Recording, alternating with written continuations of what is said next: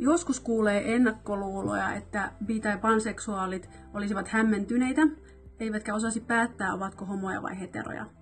Tai että he pettäisivät useammin kuin muut, koska kaipaavat aina sitä muuta sukupuolta olevaa kumppania, kun ovat jonkun kanssa.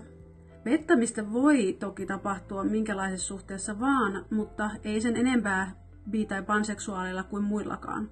Jos ihminen on viehettynyt vaikka punatukkaisiin ja vaaleatukkaisiin, niin kukaan ei ajattele, että hän tarvitsisi kummankinlaista kumppania yhtä aikaa. Jos tuntuu, että kaipaisi useita seksi- tai seurustelusuhteita samaan aikaan, riippumatta siis siitä, mikä on oma seksuaalinen suuntautuminen, niin kannattaa tutustua polyamoriaan tai muihin vastuullisen monisuhteisuuden muotoihin.